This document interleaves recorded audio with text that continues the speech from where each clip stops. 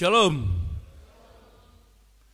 Bapak Ibu yang kekasih dalam Tuhan Yesus Kristus, kita bersyukur oleh karena kasih Tuhan kita boleh dipertemukan di rumah Tuhan pada hari Minggu yang kudus pada saat ini. Tema kita minggu ini adalah menghidupi kebenaran Allah. Menghidupi kebenaran Allah dalam bahasa Toraja umpana tak katuan situru katongananna puang matua. Dengan bahan utama kita dari kitab Roma pasal 5 ayat 1 sampai ayat yang ke-11.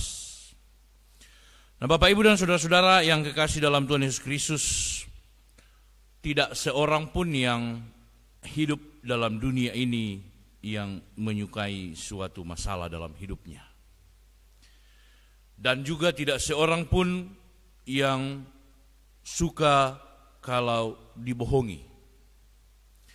Dalam artian Bapak Ibu dan Saudara-saudara bahwa sebenarnya setiap orang sangat mendambakan ketenangan dalam hidup dan sangat mendambakan suatu kejujuran.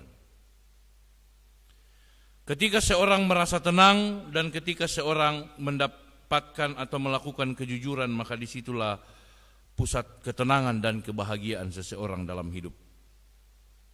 Dan berbicara tentang kejujuran pastilah sangat erat kaitannya dengan kebenaran. Sebagaimana tema kita. Kebenaran yang diharapkan oleh setiap manusia bukan datangnya dari manusia manusia banyak yang membenarkan diri sendiri. Oleh manusia banyak yang merasa benar daripada orang lain. Oleh manusia banyak yang merasa bahwa orang lain salah dan saya yang benar.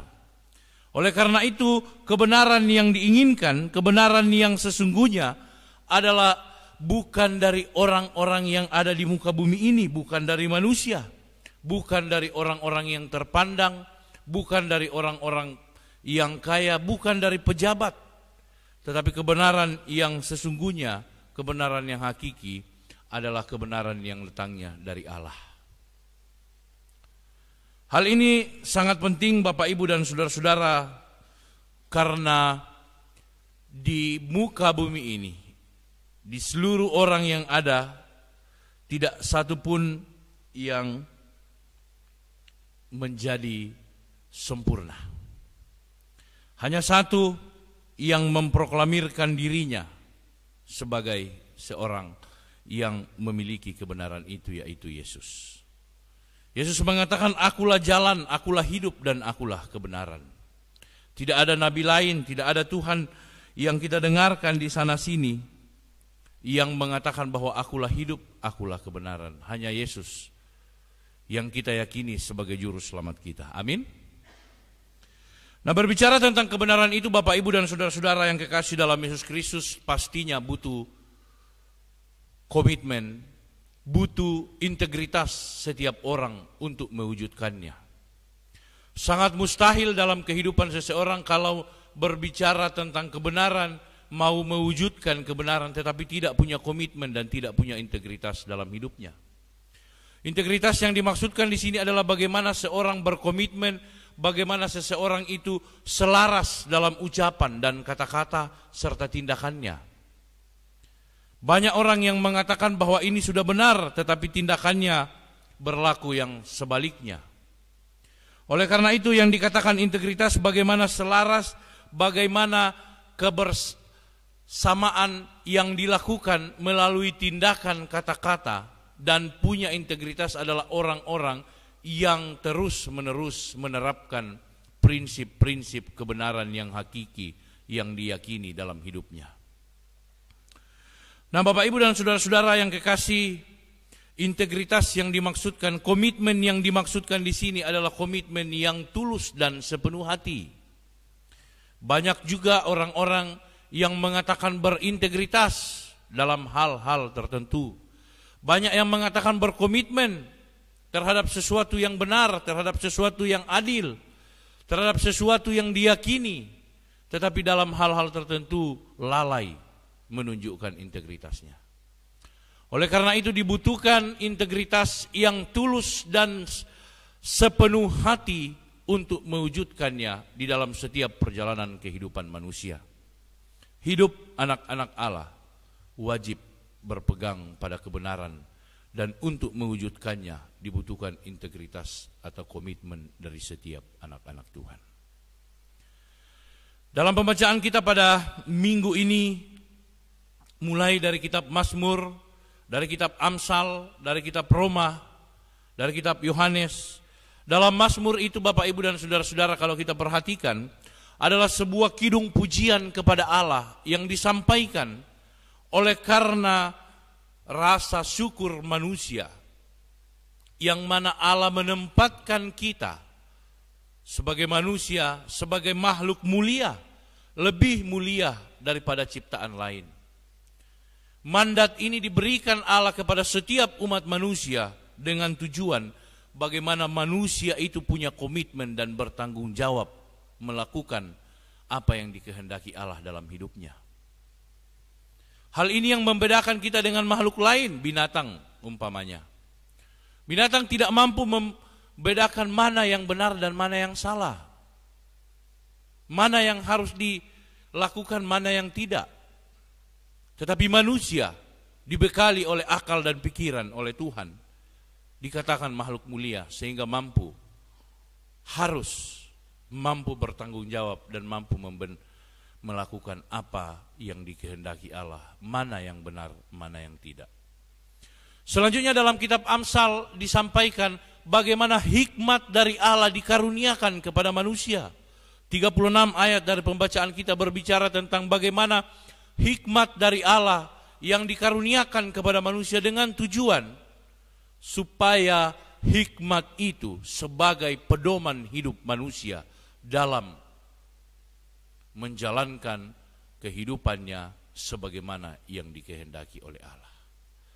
Hal ini yang menunjukkan bagaimana manusia dituntut untuk melakukan kebenaran karena dibekali dengan akal pikiran sebagai ciptaan Tuhan untuk bertanggung jawab, dibekali oleh mandat dan hikmat yang daripada Tuhan, sehingga manusia diinginkan oleh Allah, dituntut setiap kita untuk menjadi pelaku-pelaku firman dan hidup dalam kebenaran Allah.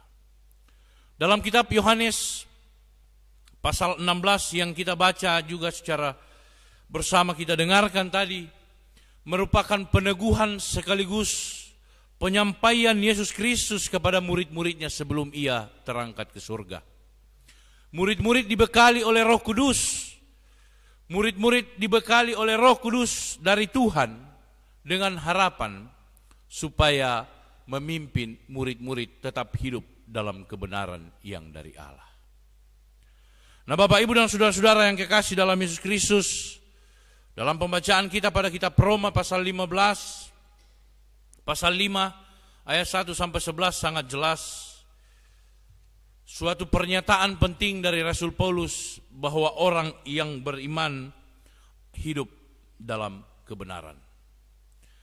Orang yang dibenarkan oleh iman maka akan memiliki damai sejahtera dan akan dimuliakan bersama Tuhan. Nah, saudara-saudara yang kekasih, dari keempat pembacaan kita ini sangat erat hubungannya bagaimana keberadaan manusia sebagai ciptaan Allah yang mulia dibanding dengan ciptaan lain yang diberikan hikmat dikaruniakan Roh Kudus sehingga manusia memiliki iman untuk melakukan kebenaran yang daripada Tuhan. Dengan demikian bahwa manusia akan mendapatkan damai sejahtera, manusia akan mendapatkan shalom dan akan dipermuliakan bersama Allah. Sidang jemaat yang kekasih dalam Tuhan, meskipun perlu kita sadari, meskipun kita harus mengakui bahwa dalam mewujudkan hikmat daripada Allah dalam menyatakan kebenaran yang kita telah yakini bersama dengan Yesus Kristus. Ada banyak tantangan, ada banyak hambatan, ada banyak rintangan yang datang silih berganti dalam kehidupan kita. Dalam pekerjaan, dalam keluarga, dalam studi, dalam bisnis, dalam pelayanan sekalipun selalu banyak tantangan. Selalu banyak masalah yang sering memaksa, bahkan cenderung mempengaruhi setiap umat manusia untuk mengingkari kebenaran itu. Dalam pekerjaan ada saja gangguan, ada saja tantangan yang dihadapi. Hati nurani berkata tidak, tetapi atasan mengatakan harus dilakukan. Dengan dali loyalitas kepada atasan kita mengikuti sesuatu padahal sebetulnya kita tahu itu tidak dibenarkan oleh Allah.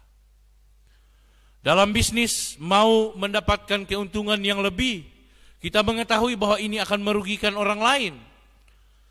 Tetapi sekali lagi mengingkari kebenaran untuk mendapatkan keuntungan yang lebih besar. Dalam pelayanan pun juga demikian Bapak Ibu masih saja terjadi, masih saja kita menyaksikan orang-orang dalam pelayanan yang mengaku paling benar, merasa paling bisa dan mengabaikan orang lain. Sehingga hal demikian dikatakan menjadi rintangan, menjadi tantangan terbesar bagi kehidupan umat manusia. Karena masih banyak umat-umat Allah yang tidak berani mengatakan ya walaupun ya dan tidak berani mengatakan tidak walaupun seharusnya tidak. Hal ini Bapak Ibu dan saudara-saudara terjadi karena banyak umat-umat Allah yang selalu memberikan ruang untuk negosiasi, untuk kompromi dalam melakukan hal-hal yang tidak benar. Satu kali melakukan sesuatu yang tidak benar, satu kali memberikan ruang untuk negosiasi dan kompromi hal itu akan datang berlanjut terus-menerus dan akhirnya menjadi kebiasaan. Satu kali mengikuti, oh karena ini kemauannya atasan saya, saya harus lakukan. Besok-besok datang lagi.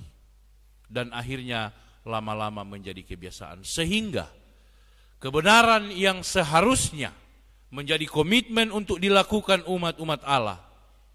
Lama kelamaan sudah menjadi kebiasaan untuk mengesampingkannya.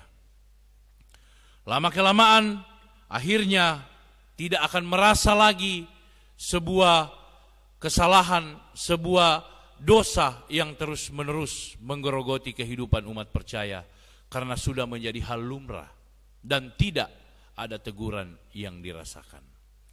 Oleh karena itu Bapak Ibu dan Saudara-saudara seharusnya sebagai umat percaya Ketika kita semua sudah meyakini bahwa Yesus Kristus sudah mengaruniakan roh dan roh kebenaran kepada setiap kita. Kita tahu, kita pasti mengetahui bahwa bagaimana yang diinginkan oleh Allah dalam kehidupan kita. Apa yang seharusnya yang benar dilakukan oleh umat-umat percaya. Maka harusnya tidak ada lagi kepalsuan yang dilakukan oleh umat-umat percaya sehingga tetap berfokus untuk menegakkan kebenaran dalam perjalanan kehidupan kita. Bagaimana kita sebagai orang percaya untuk mempertahankan komitmen dan integritas kita untuk tidak menggadaikan iman dan kebenaran dalam kehidupan kita? Apa yang harus kita lakukan Bapak Ibu dan Saudara-saudara untuk melewati tantangan dan godaan sehingga komitmen terhadap kebenaran itu tetap berlaku dalam perjalanan kehidupan kita. Yang pertama yang harus kita lakukan adalah tidak larut dengan dunia ini. Banyak orang yang mengingkari kebenaran dari Allah karena larut, karena terpengaruh, karena terbuai dengan godaan dunia. Silauan dunia, godaan dunia yang datang silih berganti. Dalam situasi sekarang era modernisasi, era globalisasi, dalam situasi yang sedemikian sehingga seluruh dunia bisa terpantau lewat tangan kita dengan menggunakan alat-alat elektronik. Hal ini membawa pengaruh yang besar dalam kehidupan kita, mempengaruhi budaya-budaya, mempengaruhi keyakinan kita, mempengaruhi kebenaran yang seharusnya sudah menjadi milik kita dan menjadi komitmen kita untuk kita tetap pertahankan. Bagaimana kuatnya pengaruh teknologi dalam kehidupan kita sehingga Bapak, Ibu, dan saudara-saudara, banyak orang yang jatuh terpengaruh. Banyak orang yang tidak lagi mempedulikan kebenaran yang sesungguhnya. Dan banyak orang juga yang larut dalam kepalsuan oleh karena tidak membentengi dirinya. Oleh karena Bapak itu Bapak Ibu dan saudara-saudara, hal yang pertama yang mesti dilakukan sehingga kita tetap berkomitmen untuk mempertahankan integritas kita dalam mempertahankan kebenaran adalah tidak larut dengan dunia ini. Jangan terpengaruh oleh godaan, jangan silau oleh godaan dunia yang serba instan, yang setiap saat datang menggoda dan merintangi hubungan kita dengan Allah.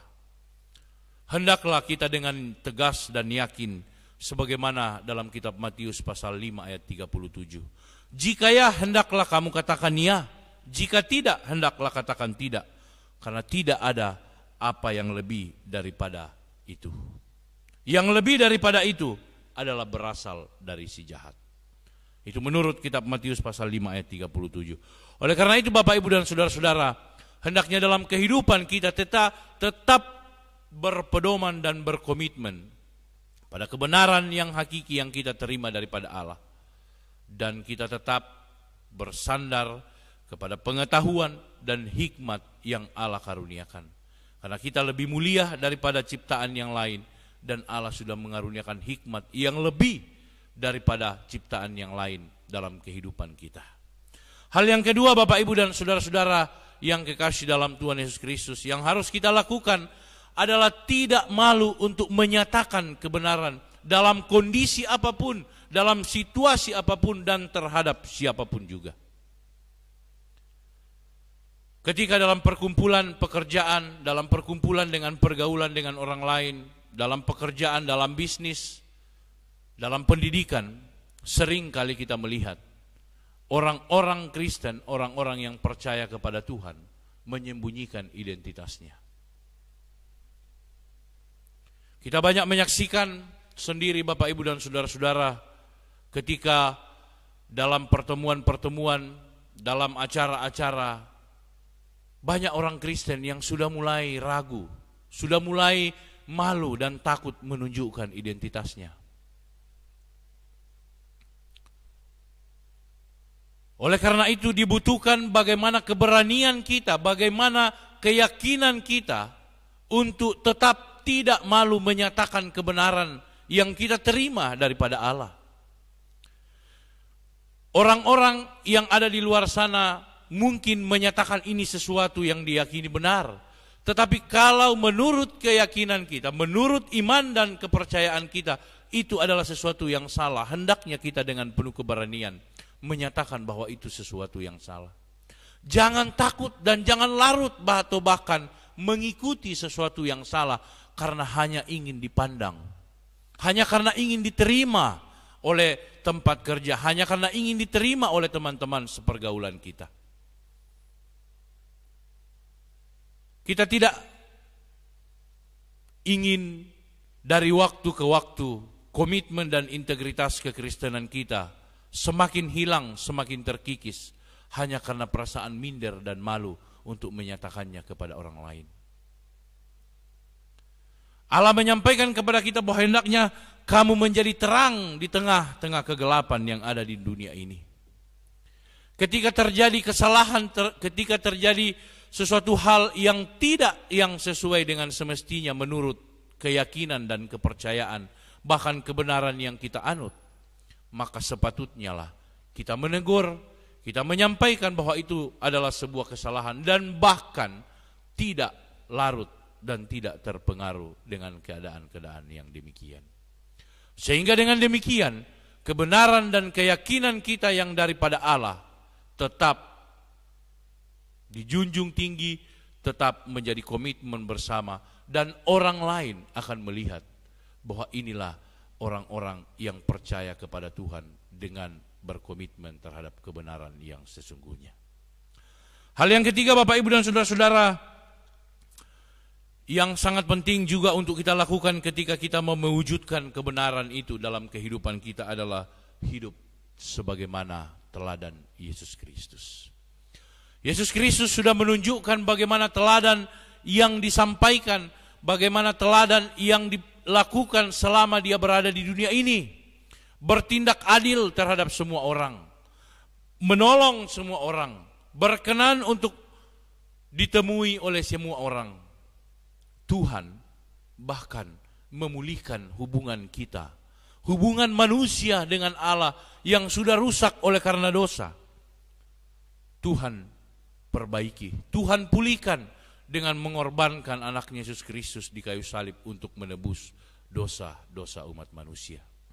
Sehingga dengan demikian, dengan kita meyakini bahwa benar Yesus telah mengorbankan diri di kayu salib untuk menebus dosa saya dan Bapak Ibu dan saudara-saudara.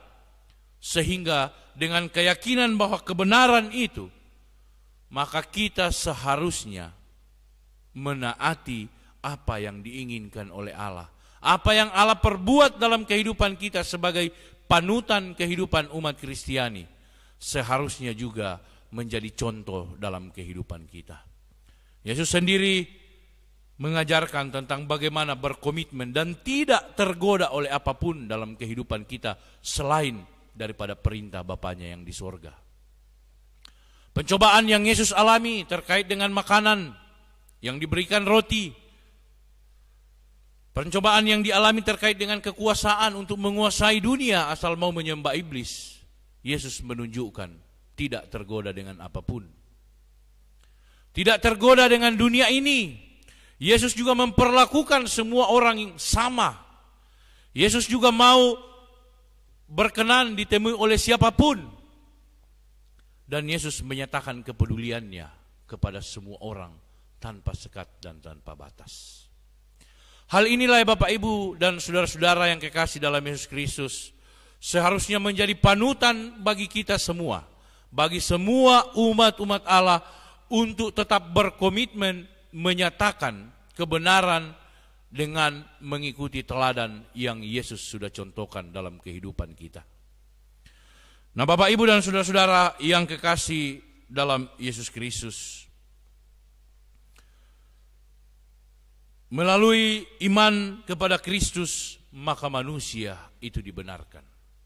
Dalam pembacaan kita pada kitab Roma, pasal 5 ayat 1, sebab itu kita yang dibenarkan karena iman, kita hidup dalam damai sejahtera dengan Allah oleh karena iman kita kepada Yesus Kristus. Melalui pembenaran itu manusia, umat-umat Allah memiliki jalan untuk mendapatkan kasih karunia daripada Allah. Dengan pembenaran itu membuat kita memiliki pengharapan di dalam Kristus sekalipun harus melalui kesengsaraan, harus melewati tantangan dan cobaan yang datang silih berganti. Namun yakinlah Bapak Ibu dan saudara-saudara, ketika setiap kita melewati tantangan, rintangan dan cobaan dalam kehidupan kita, kita tetap bertekun dan kita tahan terhadap tantangan-tantangan itu, maka yakinlah sebagaimana firman Tuhan dalam pembacaan kita. Pada ayat yang ketiga, bahwa kesengsaraan itu menimbulkan ketekunan, ketekunan menimbulkan tahan uji, Tahan uji menimbulkan pengharapan dan pengharapan tidak mengecewakan karena kasih Allah telah dicurahkan dalam hati kita oleh Roh Kudus yang telah dikaruniakan kepada kita. Ketika setiap umat-umat Allah tetap bertekun, tetap berkomitmen, tidak terpengaruh dengan godaan, tidak terbawa oleh tantangan dan arus dunia ini, maka kita harus meyakini sebagaimana janji Tuhan. Kesengsaraan menimbulkan ketekunan, ketekunan menimbulkan tahan uji, tahan uji menimbulkan pengharapan. Dan kita meyakini bahwa pengharapan kita sebagai anak-anak Allah pasti tidak akan mengecewakan. Karena pengharapan kita akan mendapatkan damai sejahtera daripada Allah. Amin. Nah Bapak Ibu dan Saudara-saudara yang kekasih dalam Tuhan Yesus Kristus, sudah selayaknya lah kita sebagai umat-umat Allah bersyukur kepada Tuhan.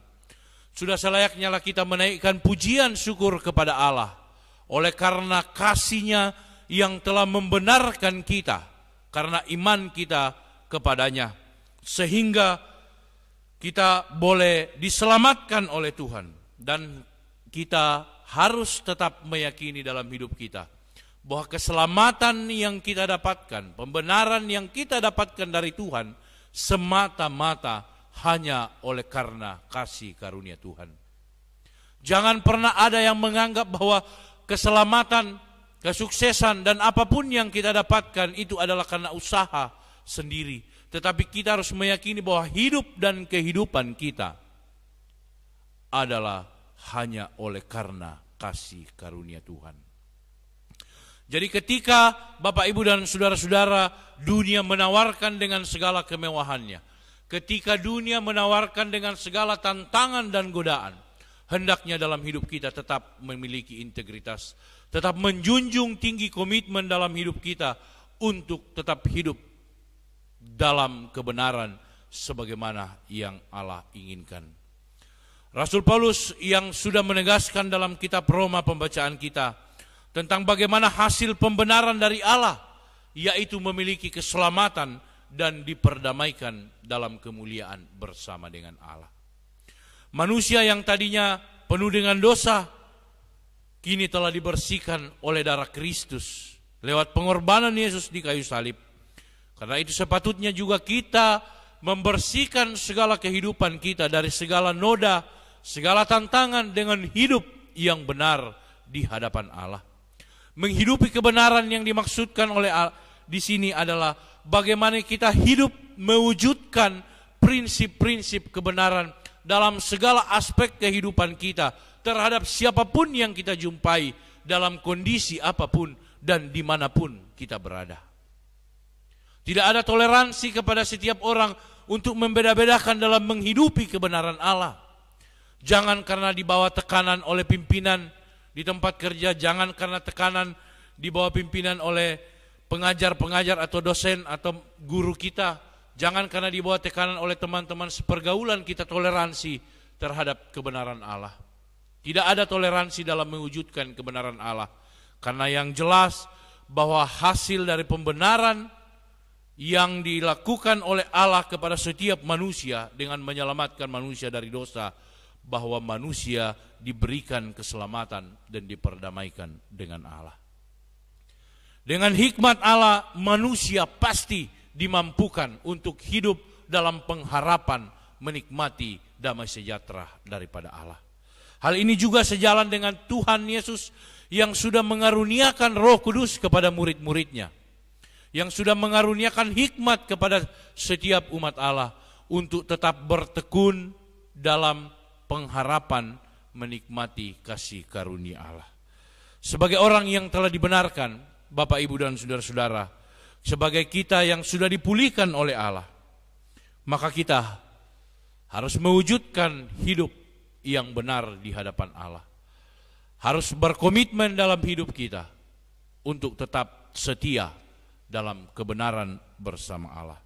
Sehingga kita terus hidup dalam memancarkan kasih Kristus, dalam memancarkan kebenaran yang sesungguhnya yang telah kita terima daripada Allah. Dan itu akan memperlihatkan bagaimana manusia sebagai makhluk yang diciptakan segambar dan serupa dengan Allah. Manusia yang memiliki hikmat, manusia yang memiliki roh kebenaran yang asalnya daripada Allah. Tuhan memberkati kita. Amin.